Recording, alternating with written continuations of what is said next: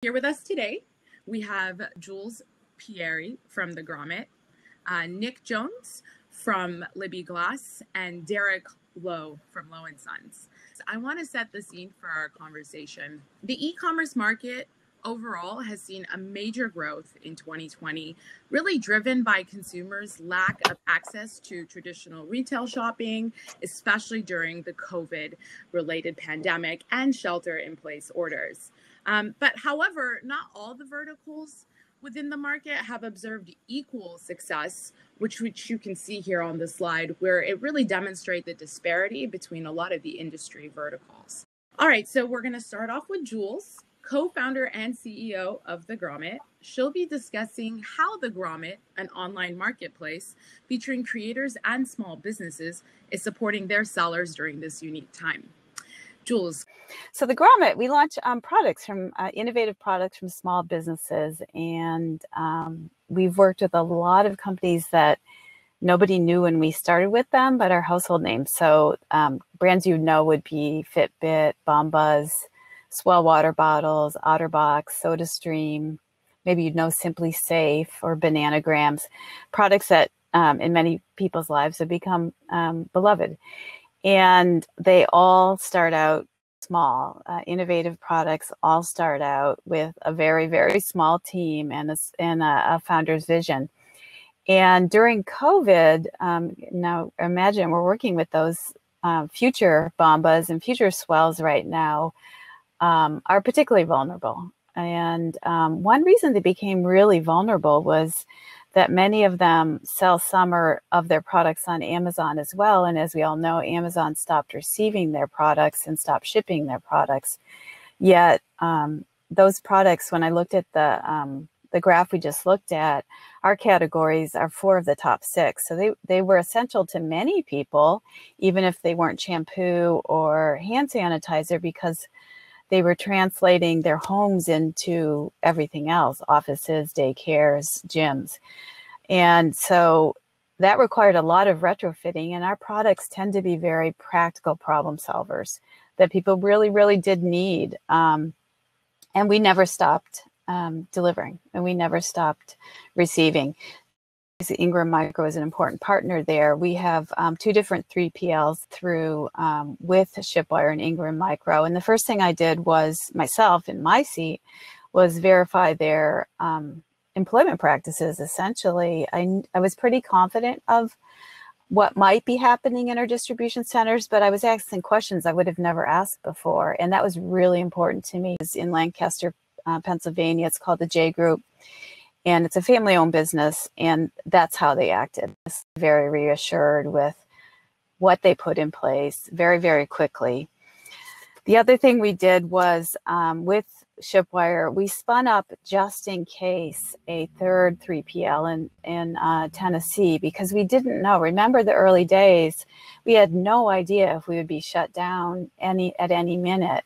And ingram micro did um, get us a classification in california as a um, so I was reassured by very reassured um, to have that in place as well.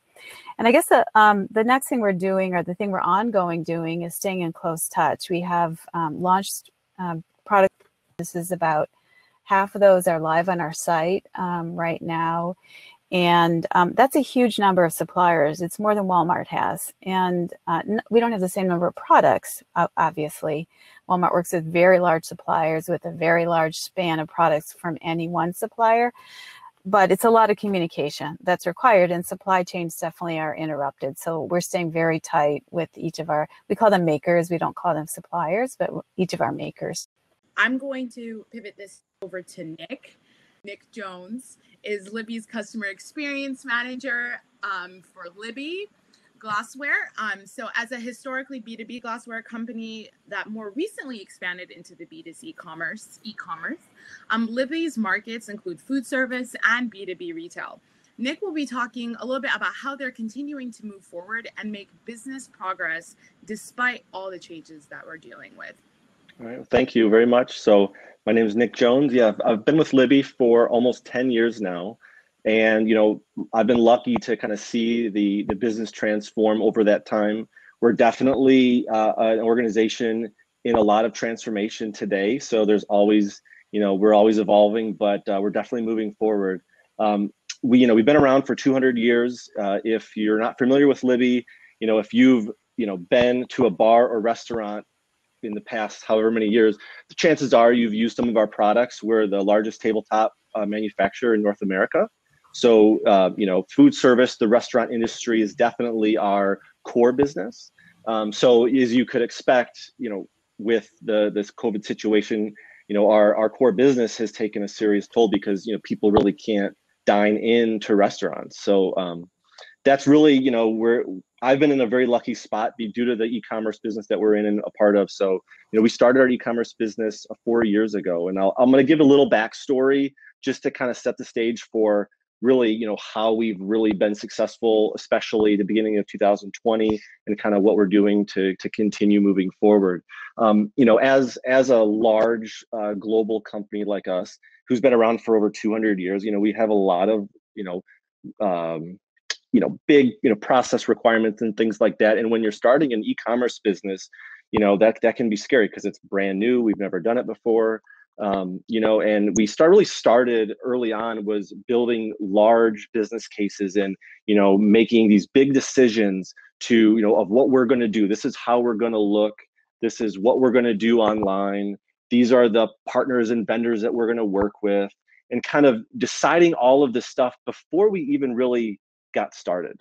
And um, so we kind of have a drastic transformation from even four years ago when we started our e-commerce business to today where we've really started to take the approach of you know maybe maybe instead of doing these big expensive drastic that could be even risky things to to our business we're doing a lot more of testing and learning. So just really small scale tests even if it's things where we hear something online oh this sounds good. Maybe we could try this or that um, really you know saying okay well let's let's try it then. It's you know it's low investment or none at all. We we like the whole you know no uh, financial investment if we can.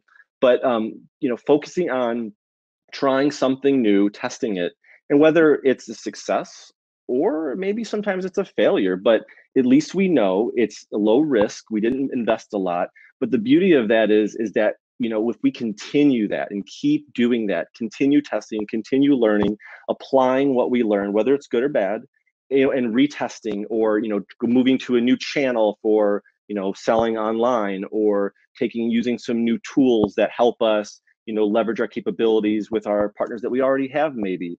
We've really just gotten good at small testing and learning trialing things um, you know, and, and setting small goals to see in, where we can compare and see how we we ultimately uh, come out on that. But the beauty of that is is we've been doing that now for a few years, and more and more, uh, you know, as we evolve, we're doing it more often.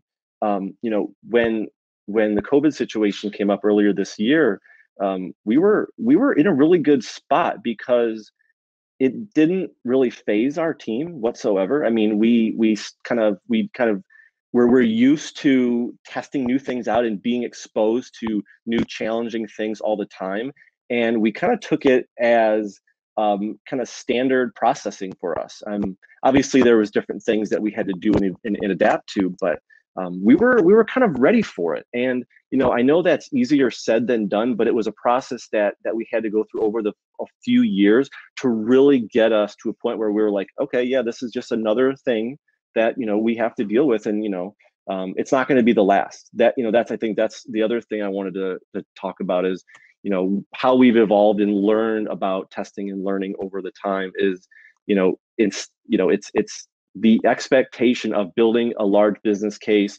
requesting funding getting approval and then saying this is how the result's going to be those days are kind of slowly you know moving on and it's it's rarer and rarer to to get the result you expect before you even get started with something. So kind of getting started quickly learning from it and adapting and evolving that has we've found a lot of success with that.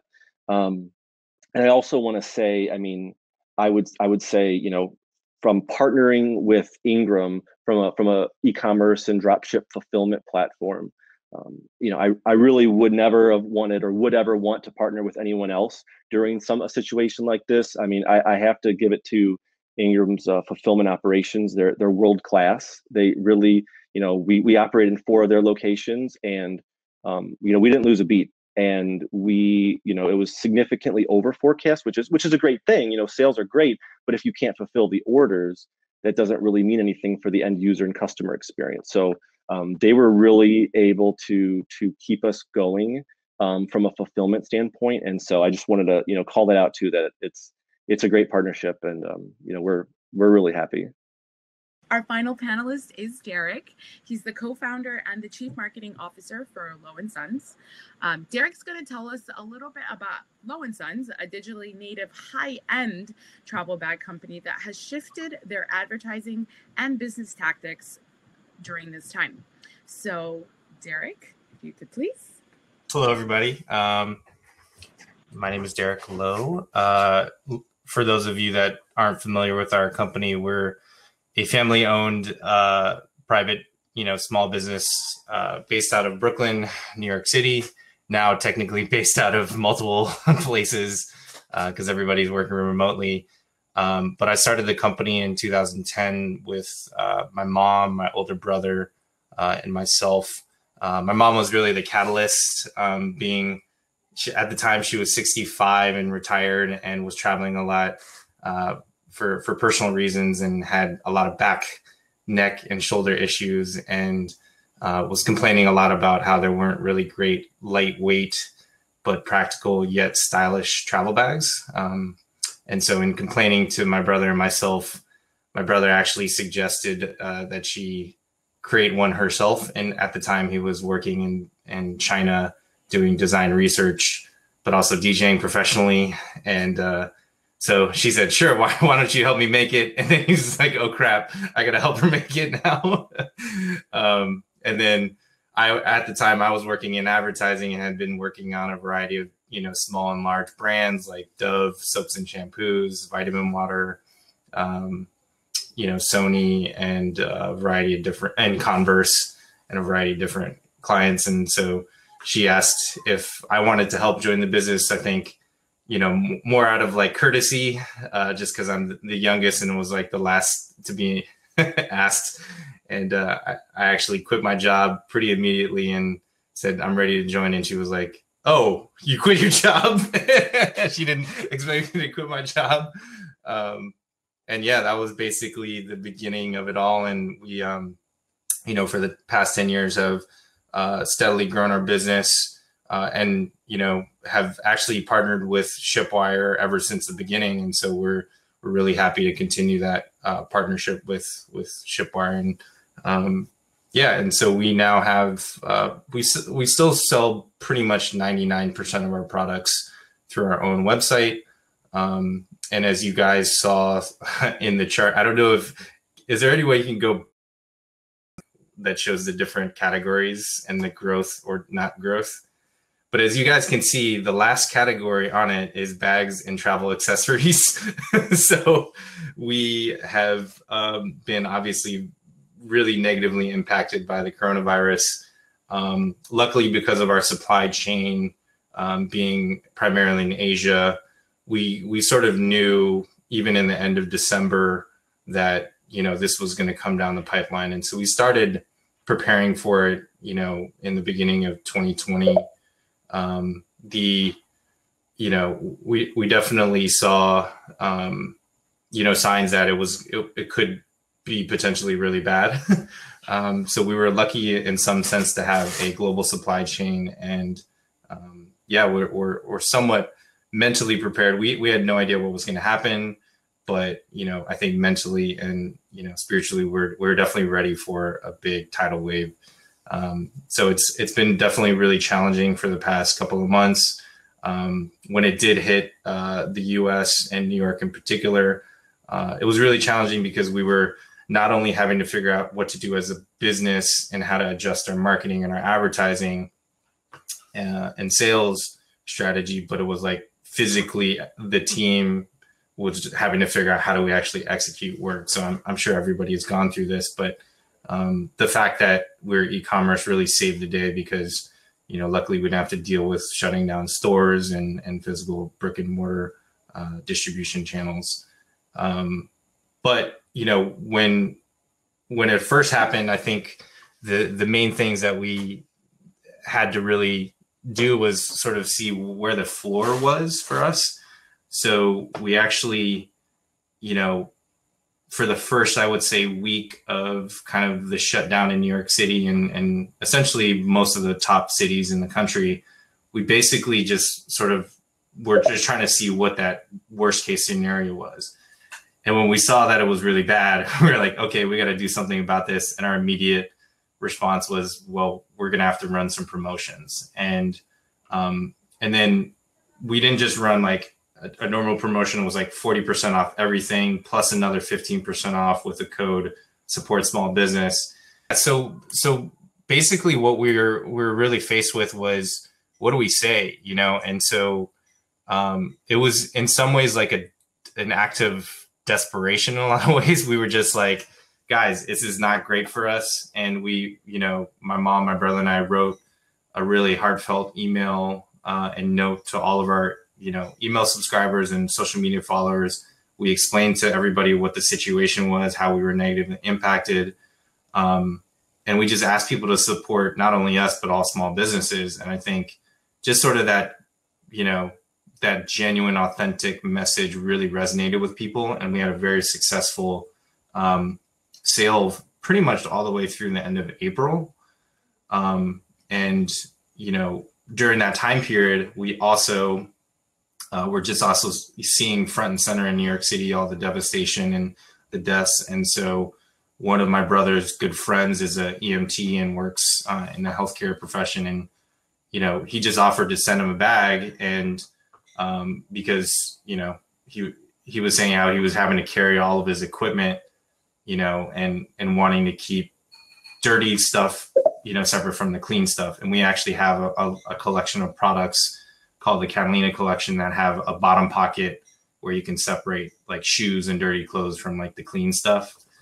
And so when he received it, um, he was like, "Oh, this is amazing! Thank you so much." And actually, his colleagues were all asking about the products, and and we we were surprised to find that people were actually finding our products really helpful during this time in the medical profession. And so we we started actually reaching out to specific hospitals in the New York City area because it's you know there were just so many that were you know dealing with so much, and people were really receptive in finding the products really helpful for their day to day commute. And some people obviously you know couldn't even be around their families or having to stay in different you know homes and travel and go back and forth between all all of these places. And so we ended up over the course of I would say a month um, donating over five hundred thousand dollars worth of products, uh, roughly about three hundred or three thousand plus bags. And for a, a, brand like ours, which is you know still a small family business and independently owned, you know that that for us was like a huge huge deal um, to you know to be donating so much during a time where even for us we we're financially struggling and still you know facing a lot of a lot of adversity. So um, what we found though was that by doing that, in some ways, it had great marketing value, and so we we also you know created a whole web page on our website that's dedicated to explaining how much we donated and all the work that we've done.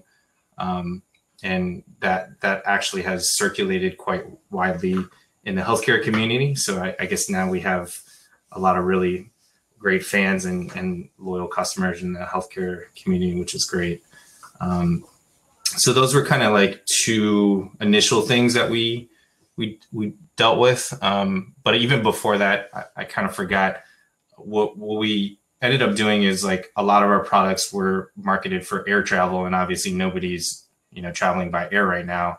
So we ended up starting to prepare and update some of our photography and positioning of the products from air travel to car, uh, train, and just like you know everyday commute.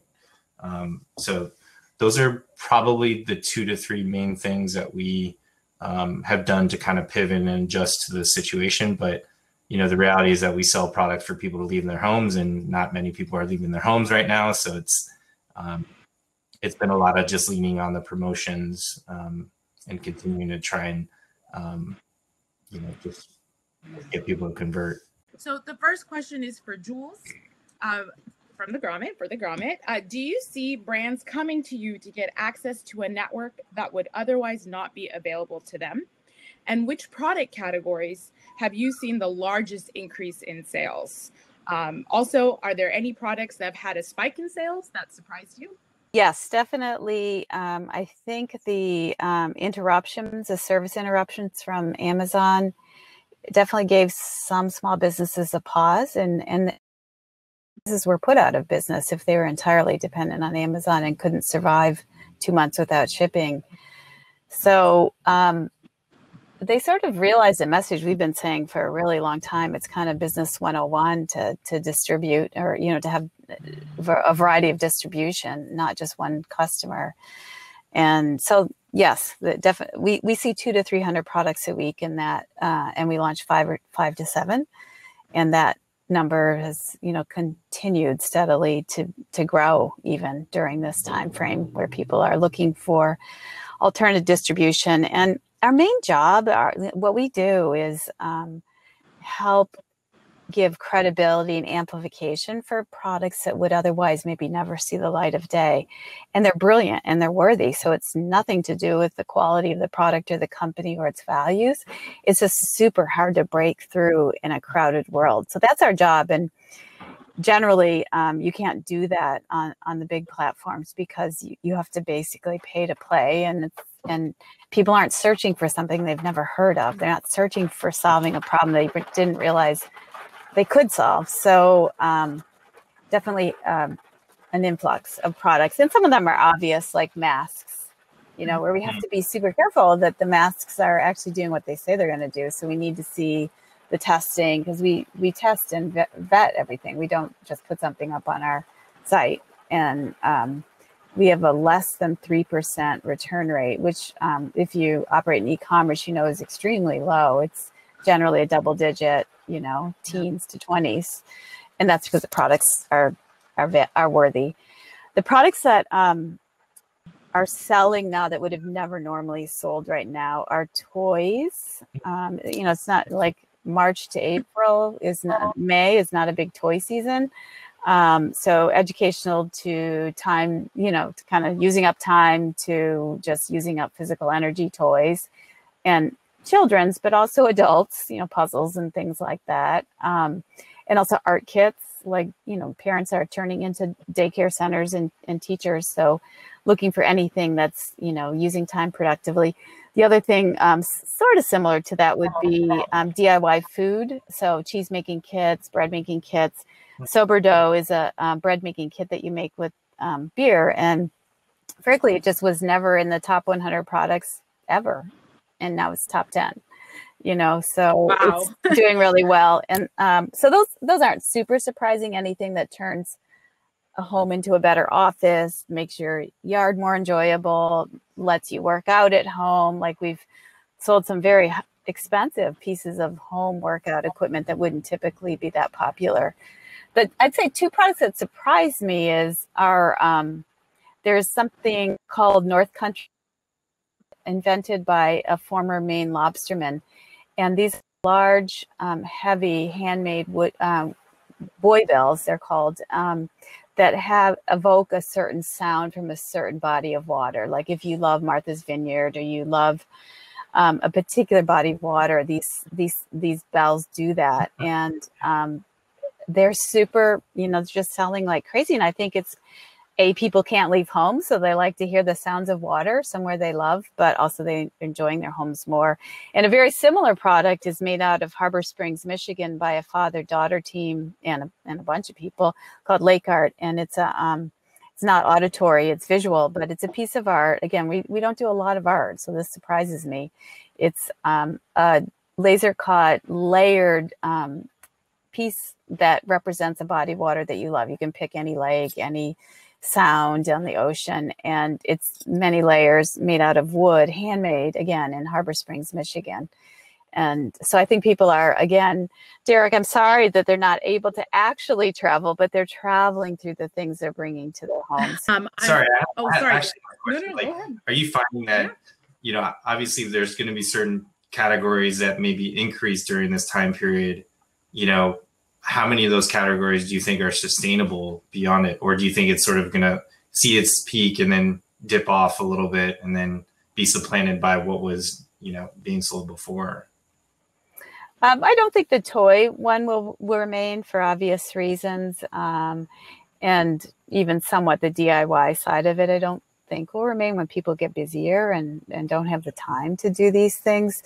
I do think anything that relates to sort of productivity and effectiveness remains. So the gym equipment, the home office equipment um, will definitely I yeah. think continue continue to grow.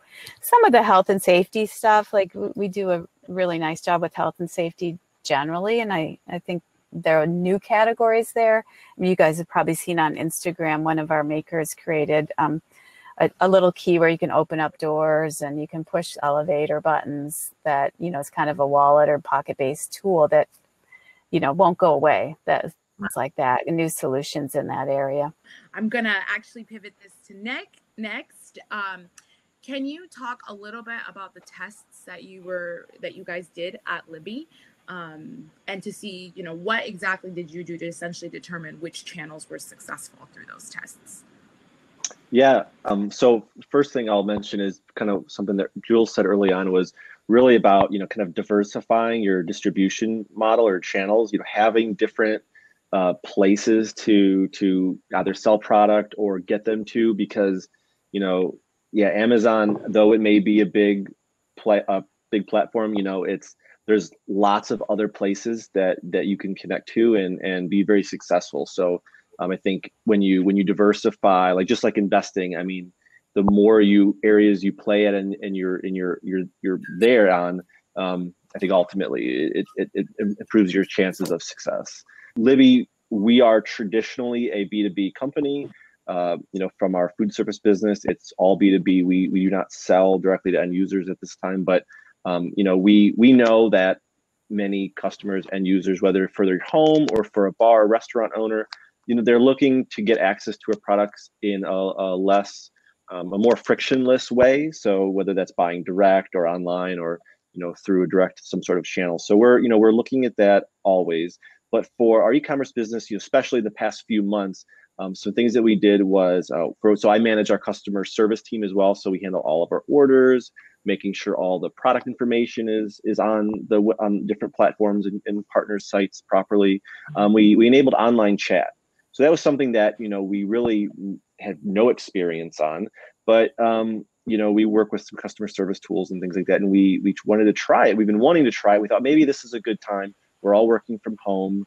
Um, you know, we're just gonna turn it on and see what happens, and and we did. And um, within you know a few weeks, we were getting a, a good amount of chats coming in, and you know it was interesting because we were we were solving questions, solving problems for customers that we probably would never get if they didn't have that way of communication. Like they don't want, they don't really want to call on the phone. They don't want to necessarily type out or compose a new email so that you know that quick you know if you're on our website there's a little button that pops up hey if you need to have a question just reply and we'll you know get to someone and, and we did that and it was really neat um you know it's still just a small portion of what we do but um, it, it definitely i think connects to people that we may not ever come in contact with.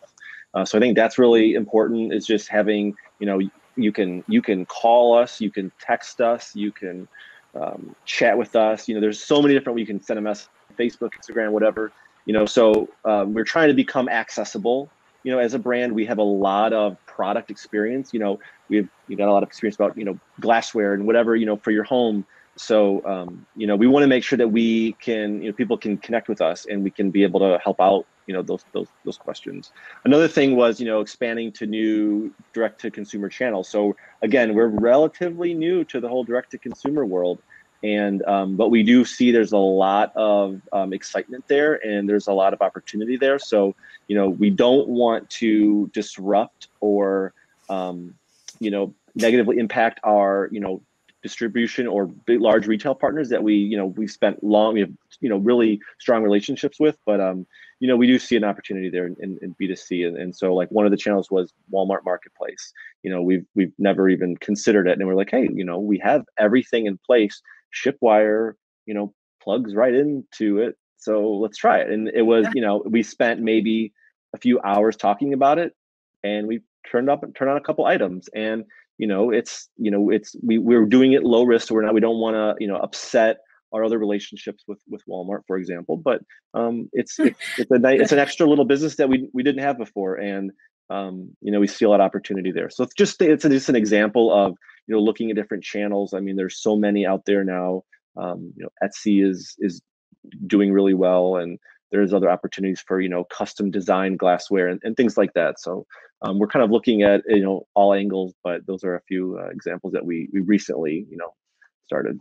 This next question is about uh, just the overall shopping experience, the online shopping experience. Can you um, share some steps you have taken to improve your online shopping experience to help with sales conversion?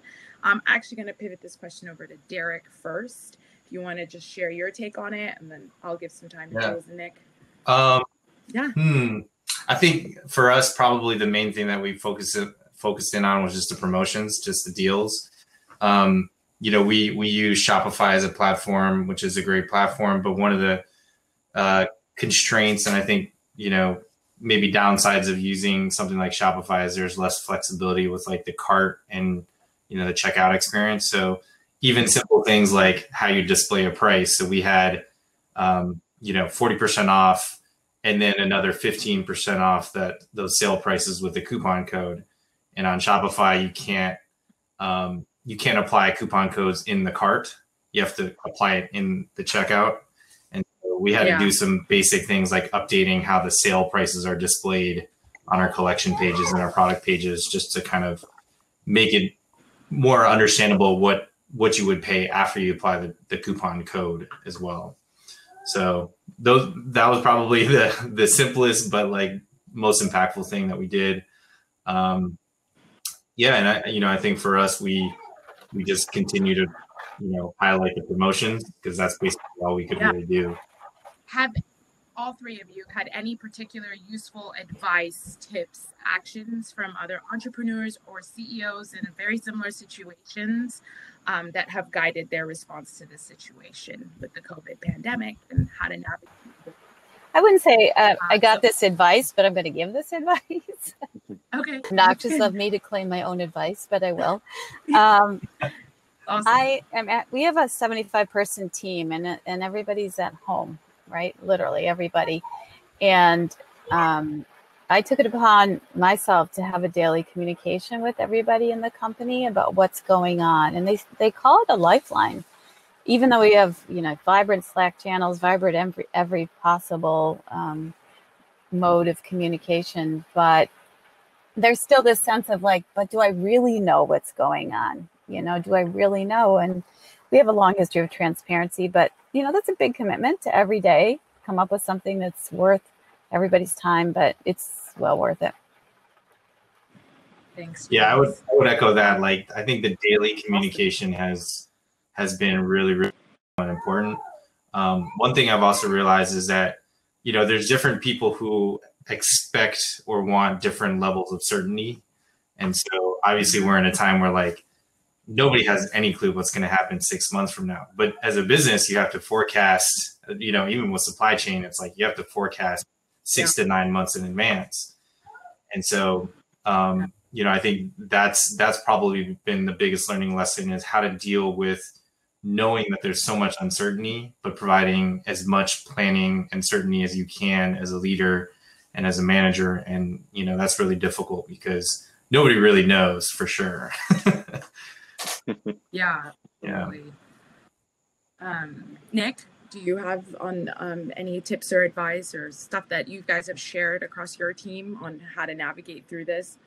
Yeah, I mean, it's it kind of echoes what what uh, Jules and Derek said. I mean, we we don't Yeah. really know how it's going to go, but we have to keep pushing forward and putting effort into it. It's definitely harder, I think, sometimes, you know, especially when everybody's home to stay motivated sometimes because you're kind of like, okay, I'm home, I'm not used to this. I don't know exactly what I should be doing. Um, so, you know, definitely keeping in communication. You know, we we do um, Skype or Teams calls, you know, all the time, and you know, uh, Friday Zoom happy hours in the afternoon helps sometimes too, just to kind of kind of loosen it up a little bit. Um, but uh, yeah, I mean, really, it's staying in communication. I think that's that's the biggest factor. But I would also, you know, back to what I originally was talking about with just, you know, becoming comfortable with the uncomfortableness of, you know, changing, you know, economy or business or you know world things that come on. I mean, the more you practice um, trying different things, and and, and it, it becomes it becomes easier. I mean, it's it's definitely still hard, but it's um, it becomes natural to to kind of take things as they come and just work through them and yeah. problem solve.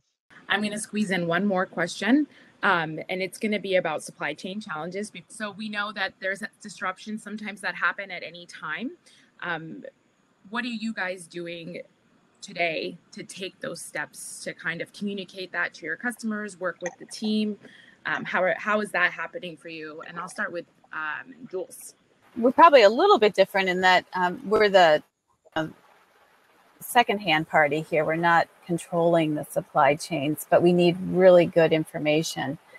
And it's been interesting. Customers have been tolerant. Like our NPS scores went up in April to over 80. We're always in the 70s, which is really high anyway, but they went up over 80.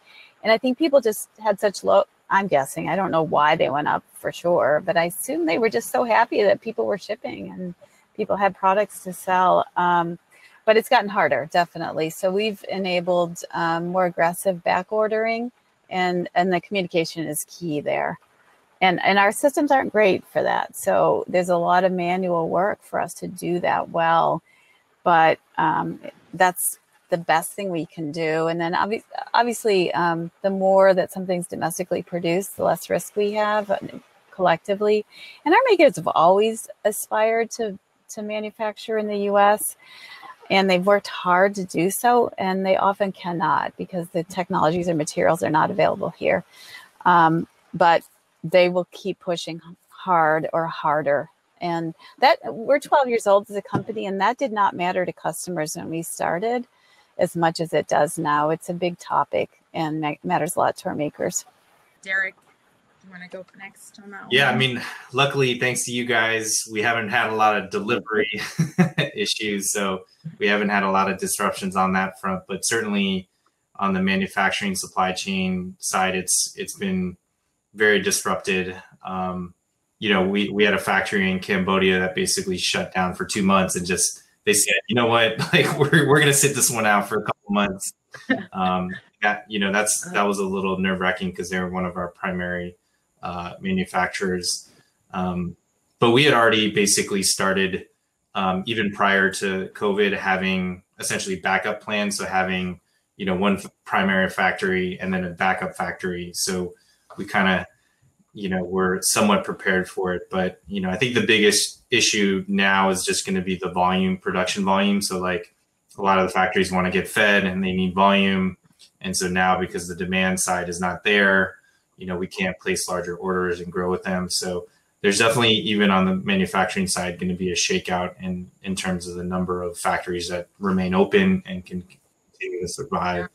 Um, so yeah it's it's definitely been really tough. But i think we you know my mom has always been the proponent of like you hope for the best but you plan for the worst. And so even though it's been a lot of work up up until covid to have multiple factories for the same products and having backups you know this is the kind of situation where that kind of has come in very very helpful and then Nick, I will hand it off to you for the last. Okay. Um, so I mean, we you know we we had a our plan kind of going into the year and early in the year for kind of how our outlook would be for the next six six to nine months or so, and you know once um, you know middle of March, you know our factories shut down. I mean, we we do have U.S. manufacturing, which we're we're lucky there, but um, it was shut down, and so that plan that we had that was supposed to get us through the next so many months was completely thrown out the window. Yeah um, we were also, I guess, you know, for the products that we make are, you know, they cater really well towards you entertaining at home.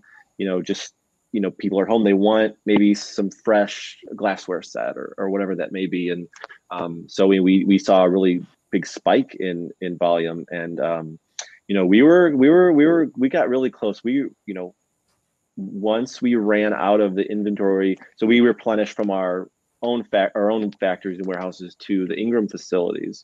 And as we were, you know, really starting to run out of stuff, um, you know, we were we had some some residual inventory that we were able to, to, to transfer over, but we were getting very close. And I mean, we definitely run out of quite a bit of items, and um, so we it was it was getting really close. But with, I guess the interesting thing I was wanted to say was we you know we have quite a large assortment with with Ingram and um, products that we maybe ran out of that were normally top sellers uh, that we're doing it that we didn't have anymore. We started focusing our attention from a marketing and advertising standpoint to some of different products that maybe never really got the the um, the attention that they deserved. And we saw some really successful products uh, you know during the time there. And now they're kind of becoming you know bestsellers in their own right. So we're we've we've tried to you know just diversify i guess again with with different uh, products that we wouldn't normally focus on but um, um, yeah i mean it's tight don't get me wrong. We we are we are our factories are up and running again which is great